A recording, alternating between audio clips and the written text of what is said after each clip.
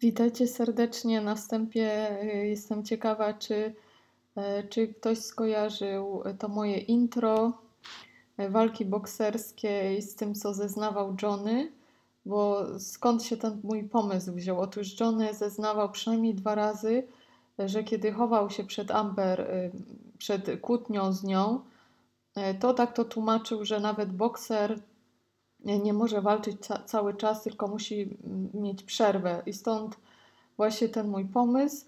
Ale dobrze, wróćmy tutaj do zeznań. E, początek dnia trzeciego. Tu wszyscy stoją, e, ponieważ członkowie Rady Przysięgłych wchodzą. E, dlatego tak, pani sędzia wita wszystkich. Dzień dobry panie i panowie. Możecie usiąść. Dobrze. Przesłuchanie krzyżowe. Adwokat Amber szykuje się właśnie do zadawania pytań. Od sobie mikrofon ustawia, otwiera swoje notatki.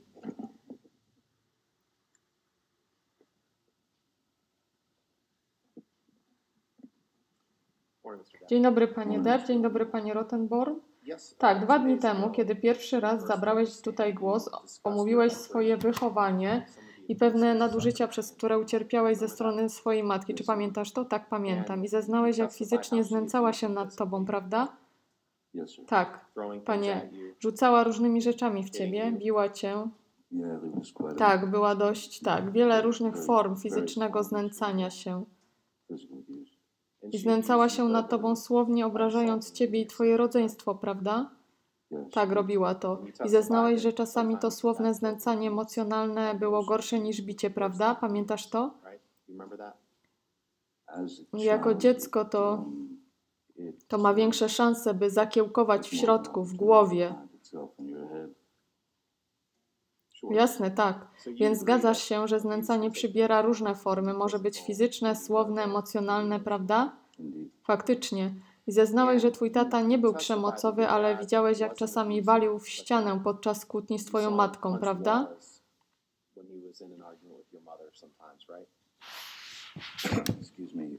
Przepraszam.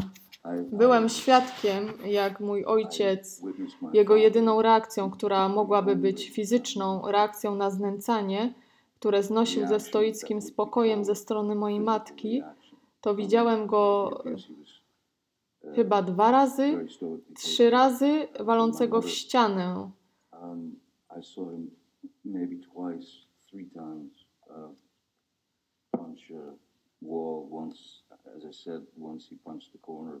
Jak mówiłem, raz uderzył w róg ściany, a ja widziałem jego dłoń. Zasadniczo to była strzaskana.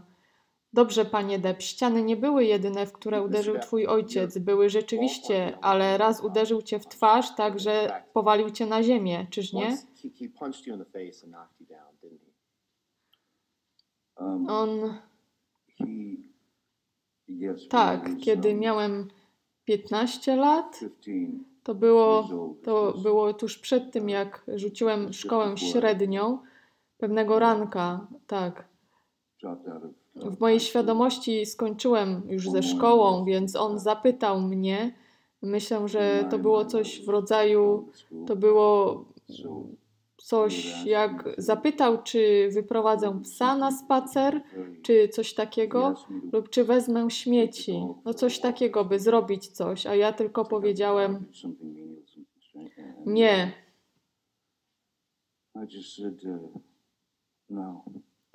A on dał mi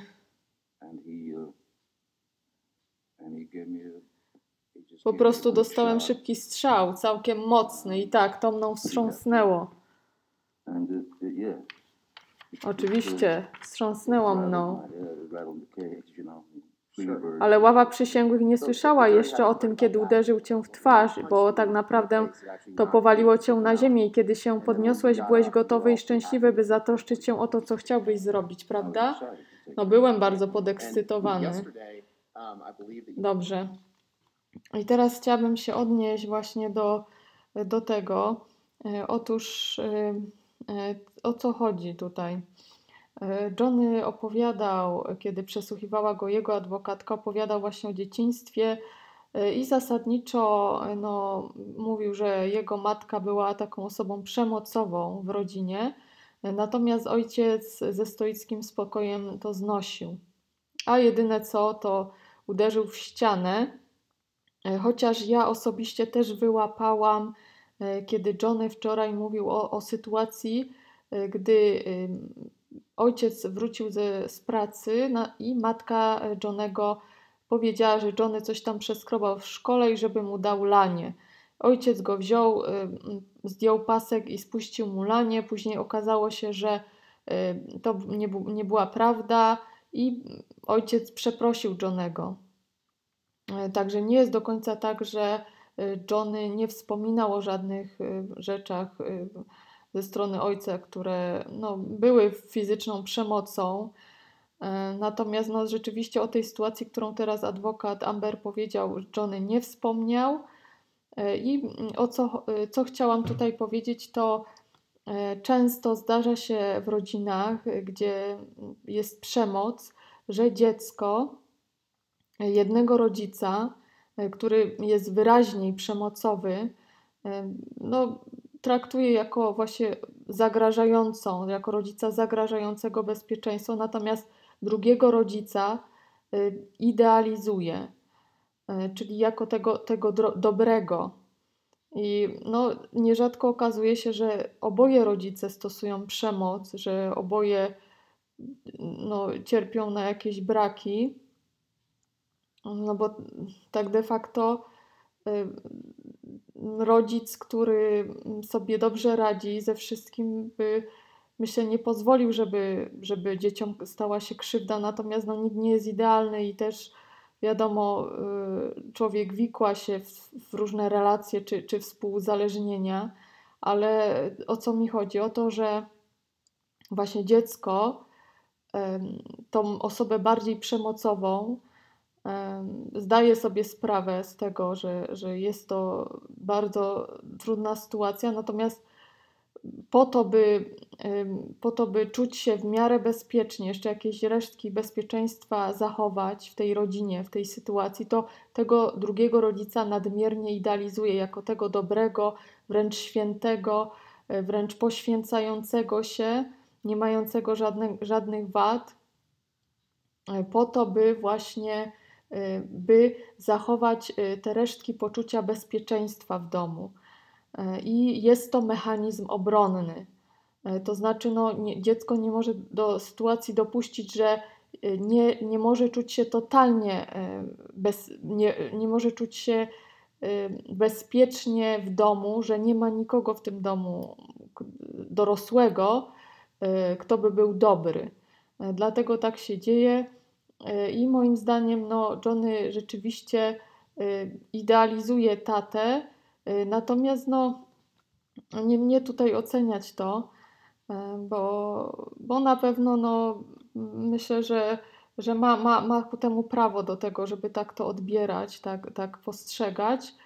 Y, natomiast no, adwokat Amber na pewno tu nie, nie chce bawić się w psychologa i udowadniać Johnemu, że idealizuje swojego ojca. Natomiast y, wydaje mi się, że chodzi o to, żeby E, żeby pokazać, że Johnny wybiórczo przedstawia, przedstawił sytuację w swojej rodzinie, e, czyli przedstawił to jako matkę złą, ojca dobrego, spokojnego, który nie stosował żadnej przemocy, e, czyli jakby odwzorował ten wzór w relacji małżeństwie z Amber, czyli też tak jak ojciec był, zachowywał stoicki spokój, był tym dobrym, i tak dalej, i tak dalej. Także to, a natomiast adwokat Amber y, jakby chciał zburzyć ten obraz i pokazać, że jednak nie, że jednak ojciec też e, stosował jakąś przemoc fizyczną i że wobec żonego i że John o tym nie wspomniał o niektórych rzeczach,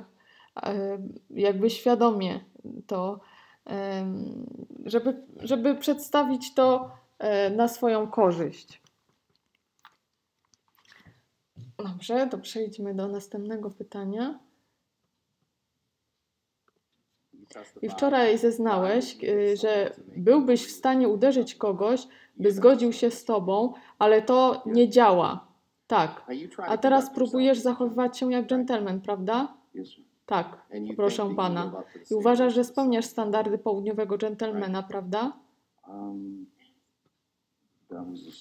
To, to To było zasadniczo wiecie, kiedy masz bardzo głębokie korzenie południowe, Kentucky i tym podobne. To nie chodzi tylko o twoich rodziców, ojca, matkę. To twoi dziadkowie, to twoi wujkowie, twoje ciotki, ci, tamci. To jest... y, To był... Tak, wychowanie na południowego dżentelmena znaczy, że duch rycerskości wciąż żyje i jest dozwolony. Dobrze, i uważasz, że żyjesz zgodnie ze standardami południowego dżentelmena, zgadza się? Wierzę, że tak. Z pewnością ro- zrobiłem co w mojej mocy w całym swym życiu. Paul Bettany jest dobrym przyjacielem, z którym braliście narkotyki, prawda? Jakie dziwne pytanie. Paul Bettany jest dobrym przyjacielem, tak. Brałeś z nim narkotyki? Tak, brałem. Kokainę? Tak. Alkohol? Tak. Tabletki, w tym. Xanax i Adderall? Tak. Mm, Hmm. Co do tego, to nie jestem taki pewien. Okej.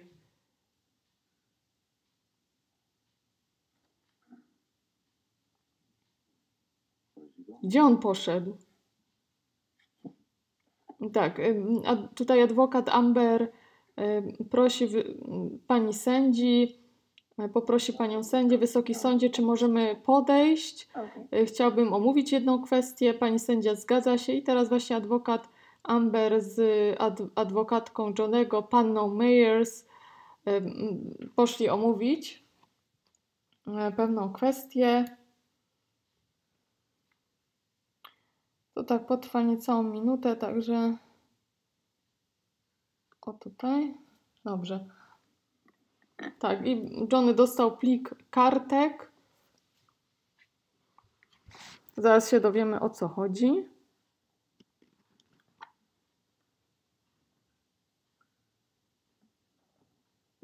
Panie Depp, pamiętasz, że zeznawałeś podczas procesu Wielkiej Brytanii, zgadza się? Tak. I zeznawałeś pod przysięgą, tak? Tak. Um, Byłeś, byłeś, zeznałeś całkiem sporo podczas tamtego procesu, tak? Uh, Nie jestem w stanie tak siebie osądzić. Czuję, że było tego sporo. Okay, Okej, at zobaczmy zatem niektóre z nich. to page 45. Jeśli możesz, proszę przejść na stronę 45 przed Tobą. To jest 12 strona dokumentu, to są cztery strony transkryptu. No, zapoznaję się z dokumentem. Oczywiście, proszę Pana.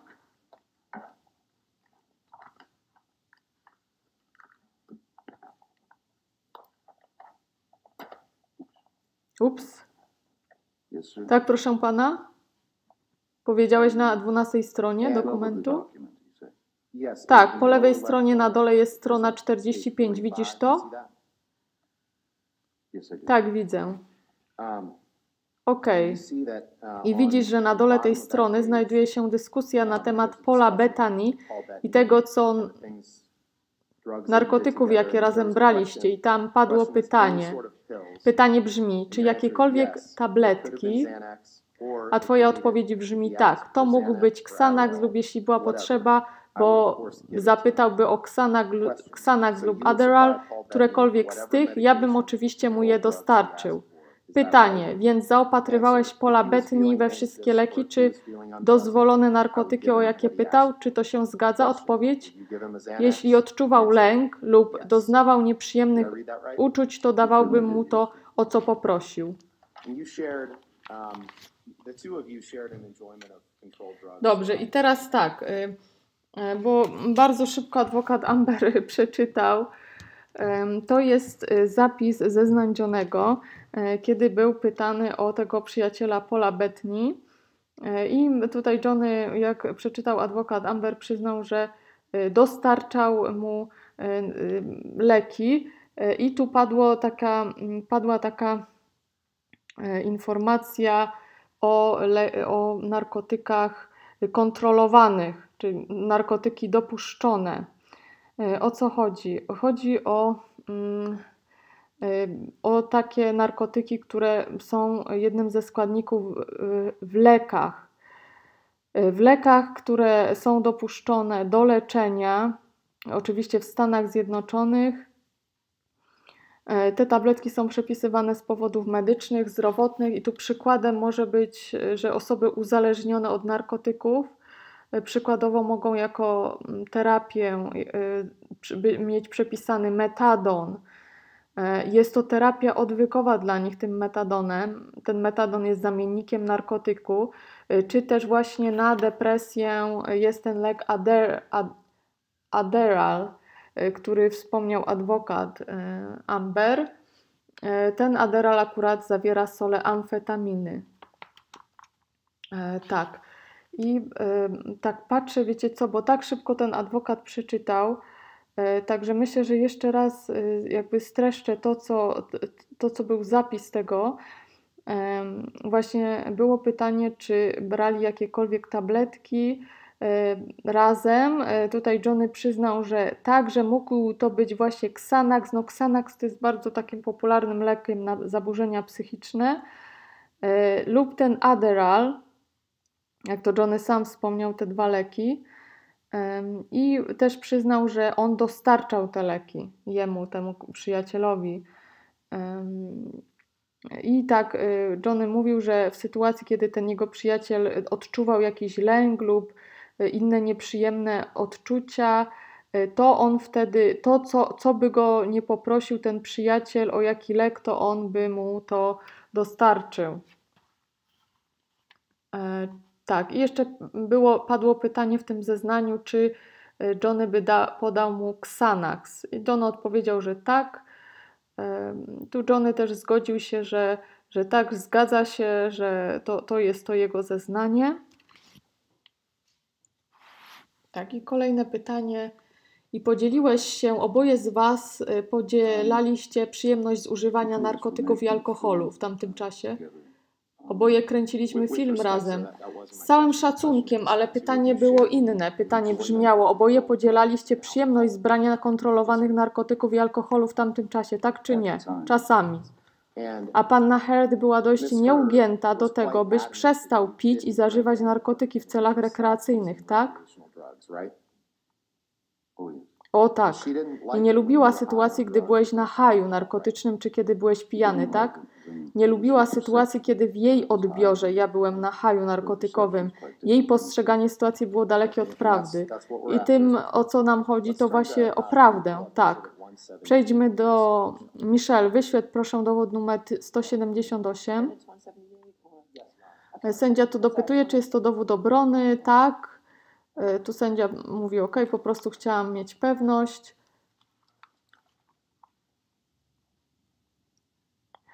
Tak, i za chwilkę um, będzie sprzeciw ze strony adwokatki Johnego.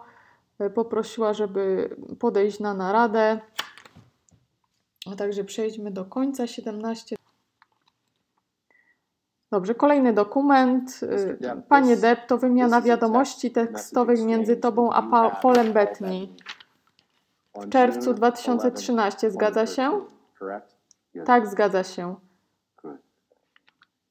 Wysoki Sądzie chciałbym uzyskać zgodę na przyjęcie zredagowanych dowodów obrony nr 178 i uzyskać zgodę na opublikowanie. Tak, i adwokatka Johnego mówi, że oprzy, oprze się na decyzji Wysokiego Sądu co do przyjęcia. Sędzia dobrze przyjęła.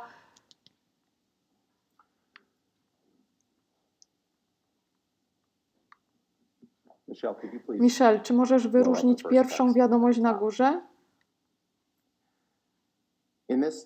W tej wiadomości, panie Deb, napisałeś do Paul, Paula Bethany. Spalmy Amber z trzema wykrzyknikami po tym, tak? Czy widzisz to? Widzę to. I tego dnia, 11 czerwca 2013, Amber była twoją dziewczyną lub prawdopodobnie już narzeczoną, zgadza się? E, dziewczyną na pewno. I nie skończyłeś tylko na napisaniu spalmy Amber, bo następna wiadomość możesz przewinąć w dół do następnej wiadomości, proszę Michelle. Piszesz, utopmy ją przed spaleniem. Trzy wykrzykniki. Czy przeczytałem to dobrze?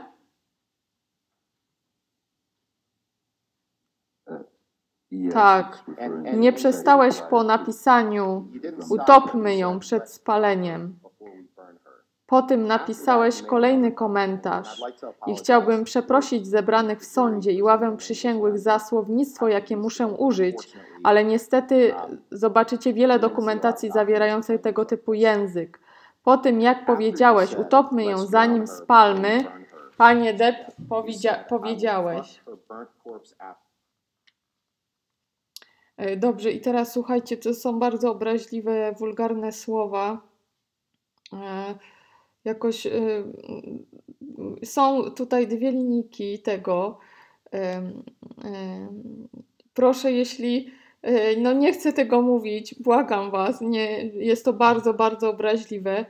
Y, proszę, jeśli ktoś jest bardzo ciekawy, to, to odsyłam do tłumacza Google. Tu właśnie są te słowa. I will. Mhm, tu o tej I will her corpse afterwards. Czyli po tym, jak ją spal, spalę i utopię, to y, żeby mieć pewność, tam dalej będzie, żeby mieć pewność, że nie żyje, to y, co bym zrobił. Także wybaczcie mi to, ale nie, nie chcę tego, nie, tego akurat jest naprawdę bardzo obraźliwe. E, dobrze.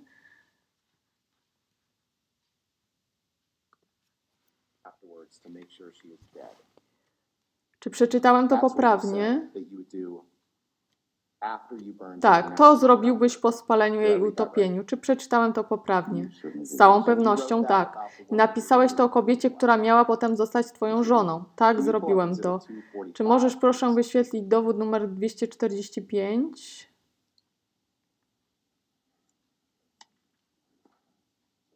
Wysoki Sądzie, no nie było żadnego sprzeciwu co do tego dokumentu. E, chciałbym dopuścić ten dowód i zapytać o pozwolenie na opublikowanie go ławie przysięgłych. Tu pani sędzia mówi, że dajmy im chwilę, czyli tym prawnikom Johnego Deppa. Dobrze, mówi adwokat Amber. Tu adwokatka Johnego Deppa. Wysoki Sądzie, nie mamy sprzeciwu do części zawierającej wiadomości tekstowe ale końcowa część zawiera wiadomości od jego córki, więc chcielibyśmy zapytać o zredagowanie tego. Wysoki sądzie, w porządku, ale wcześniej nie było sprzeciwu do tego, znaczy do tego dowodu. Pani sędzia, ale no nie, nie zawierają żadnych istotnych rzeczy. No tu adwokat Amber, dobrze, jesteśmy gotowi to zredagować. Mm, I słuchajcie, tak. E, to jest, y, przedstawiony został y, plik wiadomości, przez y, obronę Amber y, z prośbą o włączenie do dowodów. Natomiast, y, tak jak tutaj adwokaci Johnego wyłapali, te, te, w, tych, w tych wiadomościach zawarta jest również wiadomość od córki Johnego. No i oni wnieśli sprzeciw, że, że nie zgadzają się, żeby to zostało ujęte do dowodów, a poza tym i tak tu nie było żadnego odniesienia do tej wiadomości, e, czyli tak naprawdę nic istotnego to nie wniosło, że ta, ta wiadomość jest, a Johnny to wspominał i też to jest jego wola Johnego, że nie chce, żeby jego dzieci były w jakikolwiek sposób y, włączane w tą sprawę. No wiadomo, że padło pytanie, nawet adwokatka Johnego zadała pytanie, jaka była relacja jego dzieci z Amber, no to John odpowiedział, że nie było takiej relacji, czyli coś, no coś o tych swoich dzieciach powiedział, czy tak jak, że ta rozprawa też jest, jednym z powodów jest to, że jego dzieci ucierpiały na tym. Na, jak, jego opinia, a tym samym jego dzieci na tym ucierpiały. Natomiast generalnie, e, jeśli to nie było ważne, to taka była wola Johnego, żeby, żeby tym bardziej już żadnych wiadomości, czy, czy to, co dzieci napisały, czy, czy powiedziały, żeby nic z takich rzeczy e, tutaj nie, nie wybrzmiało. I dlatego e, tak się to zadziało. E, tutaj doszli wszyscy do porozumienia, że team Amber prawników zredaguje te wiadomości tak, żeby te, te, tej wiadomości od córki Johnego nie było. I tutaj obiecali, że zredagują i wtedy po usunięciu tej wiadomości przedłożą jako dowód. Dobrze, wróćmy dalej do, do kolejnej rzeczy.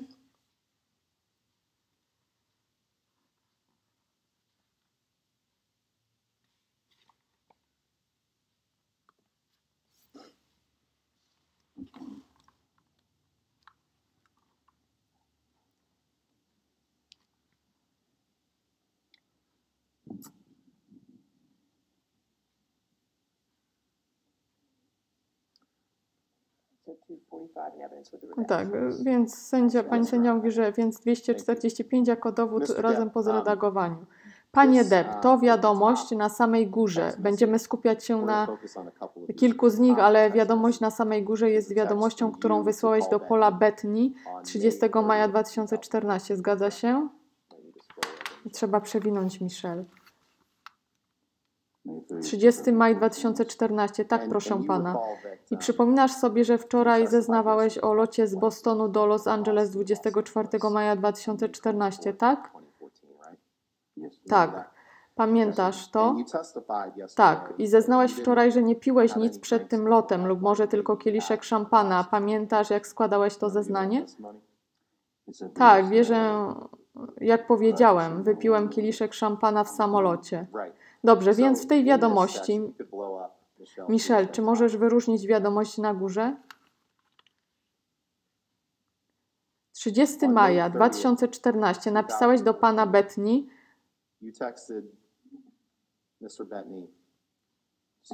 Zrób trochę mniejsze. Napisałeś do pana Betni.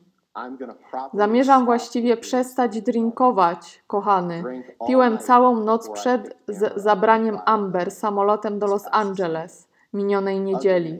Okropny ja, żadnego jedzenia, przez całe dnie, nawet w proszku.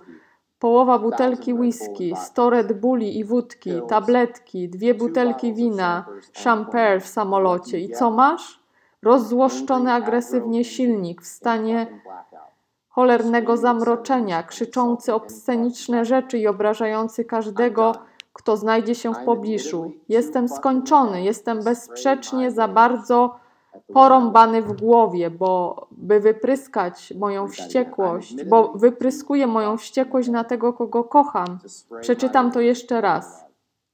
Jestem bezsprzecznie za bardzo porąbany w głowie, bo wyprysk, wypryskuję moją wściekłość na tego, kogo kocham, z błahych, z błahych powodów. Jestem za stary, by być takim gościem, ale tabletki są spoko. Czy przeczytałem to dobrze? Tak. I kiedy mówisz, że tabletki są w porządku, to było wtedy, kiedy dopiero co zacząłeś leczenie u doktora Kipera, by spróbować odstawić te pigułki. A o czym zeznałeś wczoraj, tak?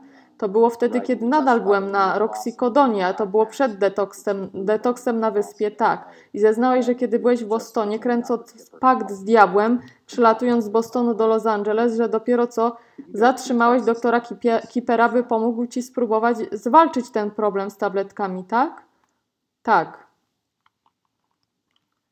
Michel, czy możesz przegnąć o dwie wiadomości w dół? I to jest wiadomość, którą wysłałeś 8 czerwca 2014. Po prostu przewiń. Do Patty Smith. Widzisz to? Tak, widzę. I teraz tak, Patty Smith.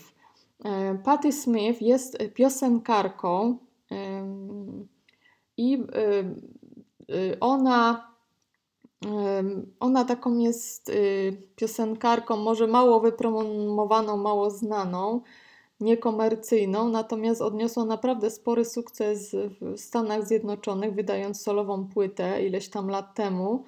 E, ona ma mm, takie rokowe brzmienie, e, jest też poetką, e, ta pani. I jest też przyjaciółką Johnego. Wiem, że tam za któryś urodzinach śpiewała dla niego.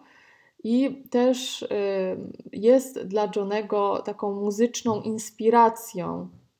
I to absolutnie nie jest, nie jest taka relacja damsko-męska, bardziej przyjacielska i bardziej właśnie Johnny y, tą, y, tą Patty naprawdę jest dla niego takim jakby guru muzycznym, że podziwia ją wręcz. Także to takie nadmienić chciałam, dlatego że będzie teraz adwokat Amber czytał wiadomość, jaką wysłał Johnny właśnie do Patty.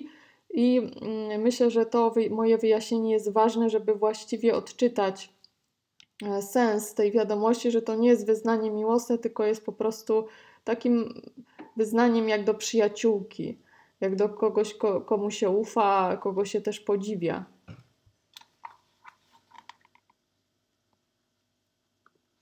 Okej, okay, i w tej wiadomości, nie będę czytał całej, ale mówisz tak, zamierzasz przeczytać, zamierzam przeczytać pierwszy paragraf. Droga Patty Lee, tęsknię i czczę Cię, nie ma niczego złego w tym. Nigdy przenigdy to nie może się już wydarzyć. Byłem poza. Byłem taki zajęty filmem tu w Bostonie, a potem wróciłem do Los Angeles do dzieciaków. Kiedy byłem w Nowym Jorku, to była krótka wizyta, rozwalona i naładowana okropnymi starciami z Amber. Zawaliłem, upiłem się. To było takim rozczarowaniem. Byłem rozczarowany sobą. Tak naprawdę prawie, że poszedłem do ciebie o 3.30 w nocy, tam gdzie byłem ostatnio. Niezdolny, by przestać płakać. Czy przeczytałem to dobrze? Tak. Michel, czy możesz proszę zdjąć to i wyświetlić dowód 325? Panie Depp, czy to wymiana wiadomości między Tobą a Panną Heard z 18 grudnia 2014?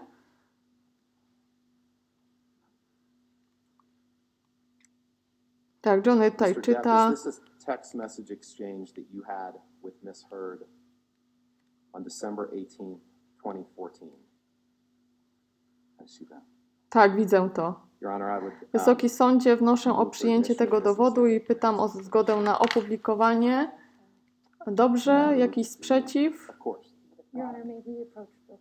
Tak, i adwokatka Johnego prosi o kolejną naradę.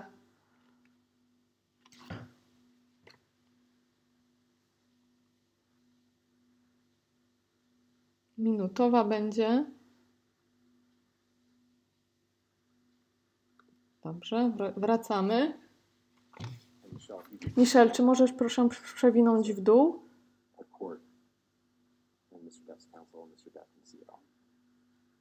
Żeby pan Deb widział wszystko. To adwokatka Johnego. Przepraszam, Wysoki Sądzie, e, nie mamy sprzeciwu do tej niezredagowanej wersji.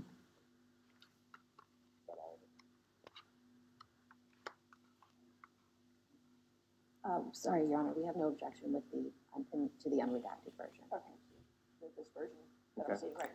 Okay. chodzi o tą wersję, która teraz widzę, tak, tak.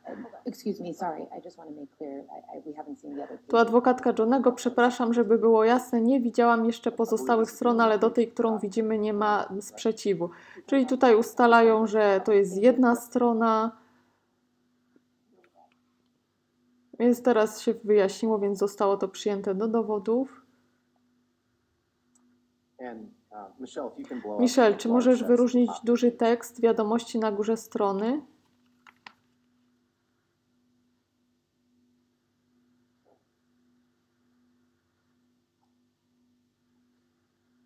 Panie Depp, 18 grudnia 2014 wysłałeś tą wiadomość do panny Heard. Zamierzam ją przeczytać. Brzmi ona. To sposób, w jaki odpuszczam, to zaszło za daleko. Atakowaliśmy się. Ja mam skłonność do tego. Zawsze żałuję tego, kiedy podskakuję, lub jeszcze gorzej jest, jak ty podskakujesz. Nie chcę być uwarunkowany do kontynuacji tego zachowania. Zatem włożę ogrom pracy, by to zmniejszyć. Przepraszam, że mnie nie było. Za Twoje rozczarowanie mną, mną, za moje zachowanie. Jestem głupim brutalem. Muszę to zgubić w sobie. Zgubię to. Diabeł jest zawsze gdzieś wokół. Tak chciałbym móc przywrócić choć przebłysk uśmiechu na pięknej twarzy z moich największych snów i najciemniejszych koszmarów. Kocham Cię zbyt mocno. dla Ciebie i mnie, by być tymi ohydnymi obelgami, procy, jak to robimy. Atakowaliśmy siebie. To nic, z czego mógłbym być dumny, ani trochę, a w czym uczestniczę i żałuję wprawienia tego w ruch, bo, bo jak kiedy walczymy, moja mała dziewczynko, jak kończymy na krawędzi przepaści i dlaczego? Chciałbym wiedzieć. Boże, i wiedząc, że masz się dobrze, doskonale zdaję sobie sprawę, że powinienem być ponad sytuacją i że to już nigdy nie pojawi się w negatywnym doświadczeniu. To może być zrobione, co za zabójczy koncept do wyobrażenia. Chciałbym, byś była w tej szaleńczej bliskości. Uważaj tam. Uwielbiam Cię. Czy przeczytałem to dobrze? Tak. Dobrze, Michel, możesz to zdjąć. Czy możesz proszę wyświetlić dowód 153? E, teraz e, tu adwokat Amber e, powie do Wysoki Sądzie, mamy zredagowaną wersję tego, ale przedłożymy całość niezredagowaną teraz. Pani sędzia mówi dobrze. Tak, i adwokatka Johnego zauważy, w tym dokumencie, e, że tam widnieje numer telefonu. E, także, no, tak jak tu wspomniał adwokat Johnego, że to jest nie, niezredagowane, niezredagowana wersja.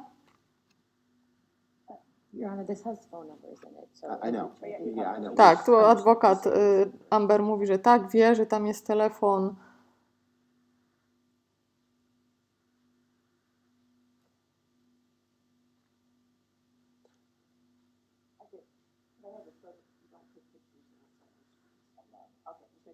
pani sędzia, chciałabym zobaczyć teraz, czy mogę otrzymać zdjęcie tego, co jest na Twoim ekranie. Tak? Panie Deb, chciałbym skierować Twoją uwagę na trzy górne wiadomości tekstowe na tej stronie. To są wiadomości, które wysłałeś 17 stycznia 2013. Widzisz to? Przepraszam, czytam, co jest na stronie. Dobrze. I sposób, w jaki czasami te wiadomości tekstowe są tworzone, to widnieje dużych rozmiarów data, która wskakuje i są one pomieszane tam, więc wszystkie nie znajdują się w tym samym rzędzie. Oczywiście. Ale pytam się cię tylko te trzy na górze. Oczywiście. I są to wiadomości, które napisałeś 17 stycznia 2013. Zgadza się? Tak. Wysoki Sądzie zgoda na publikację tylko na te trzy wiadomości, na pozostałe zredagowane, na przyjęcie tych zredagowanych do dowodu. Tu adwokatka Johnego, jeśli jest, nie jest to ta wersja, to w porządku. I tutaj adwokat mówi, że, on, żeby, że oni na ekranie tylko to, to pokażą, co chcą, żeby było przyjęte.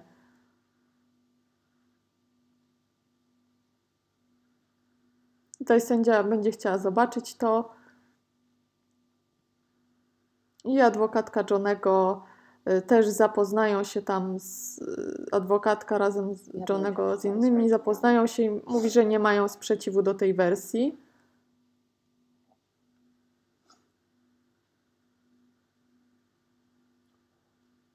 Michel, czy możesz proszę wyszczególnić pola tekstowe? Panie Deb, 17 stycznia 2013 napisałeś następująco. Dla głupiej krowy. Trzy wykrzykniki. Kolejna wiadomość. Zrobię to.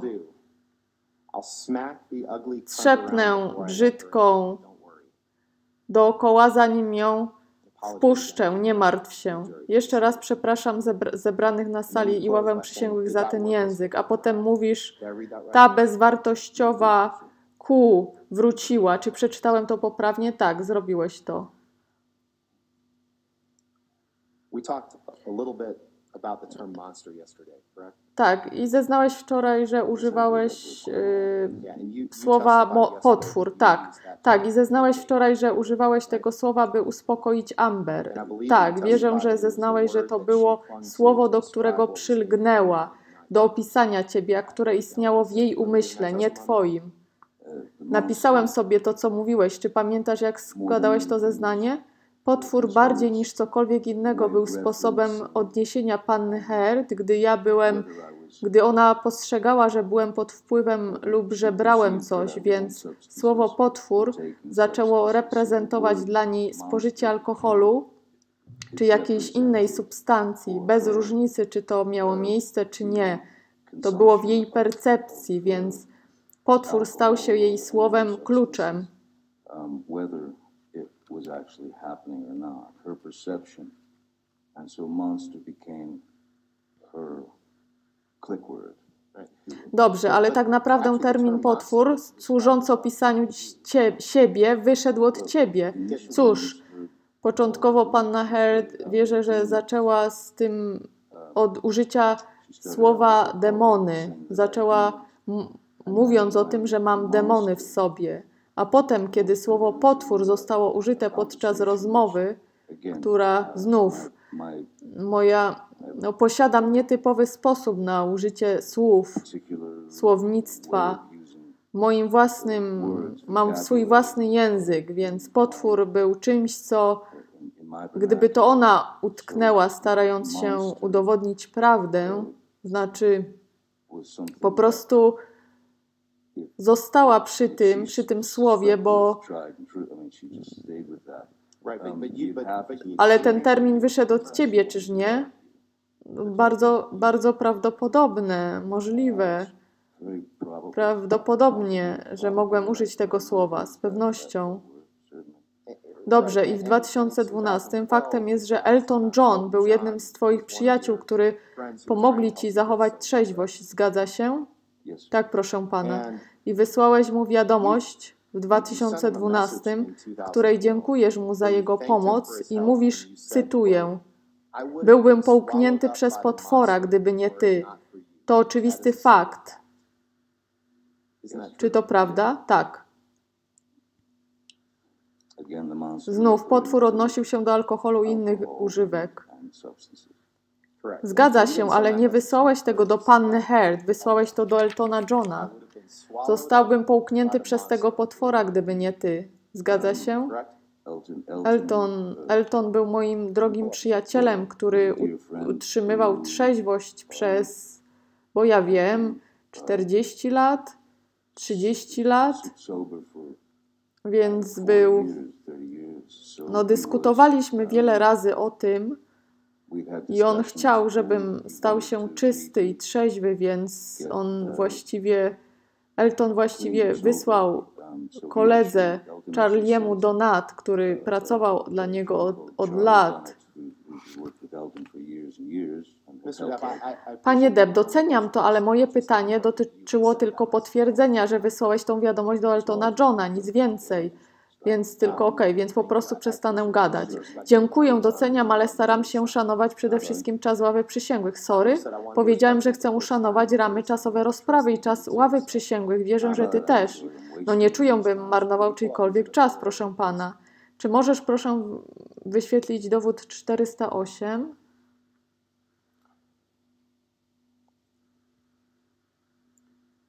Mr. Depp, I- Panie Depp, chciałbym skierować Twoją uwagę na wiadomość na dole tej strony i czy możesz potwierdzić, że to jest wiadomość, którą wysłałeś 9 kwietnia 2015 podczas związku małżeńskiego z Amber do Twojej siostry. Czy widzisz to? 2015, while you were married to Amber, to your sister. You see that? Ostatnia? Ostatnia wiadomość, ta na dole. Tak, widzę ją, tak. Um, Wysoki sądzie wnoszę o przyjęcie dla 408 ze wszystkim oprócz ostatniej zredagowanej wiadomości. No tutaj adwokatka Johnego mówi, że mamy sprzeciw i czy możemy podejść na chwilę. Tu pani sędzia się zgadza.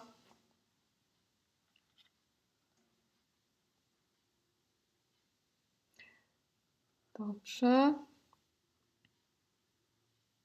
Dobra, to wracamy po naradzie. Panie Depp, dla jasności, CIS, w tych wiadomościach to twoja siostra lub to może chodzić o siostrę Amber również, tak? Sis odnosiłem do Whitney. Whitney, więc do siostry Amber, okej. Wysoki sądzie z tymi zredagowanymi pytam o zgodę, czy o włączenie dowody 408.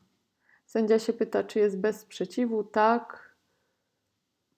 Tak, adwokatka Johnego mówi, że nie mają sprzeciwu. Pani sędzia, dobrze, 408 ze zredagowaniem.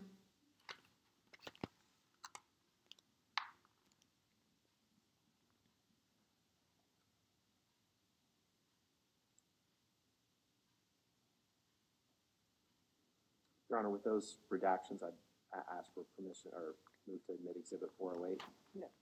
No objection? Yes. All right, four oh eight, with redaction. Panie Deb, 9 kwietnia Mr. Depp, 2015. on- On April 9th, twenty fifteen, Yes, Tak? Kiedy byłeś w związku małżeńskim z panną Heard, napisałeś wiadomość do kogoś nazwanego Cis. Być może do jej siostry, jak zeznałeś. "I'm all Tak, powiedziałeś, czuję się dobrze. Dot, Ja, kropka, kropka, kropka, pomyślałem, że nigdy przenigdy nie chcę już leżeć patrząc na tą ohydną szmatę Amber, najbardziej żenujące. Czy przeczytałem to dobrze? Tak. I kiedy nazwałeś Amber ohydną szmatą, była twoją żoną wtedy, zgadza się? Tak, proszę pana. Tak, y, kolejny dowód. Y, I tak, to jest wszystko, co przygotowałam. E, Także y, trochę dzisiaj wiadomości.